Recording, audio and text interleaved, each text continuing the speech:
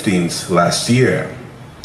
This occasion marked the rebranding of the festival as iDance Fest as a specific community development initiative.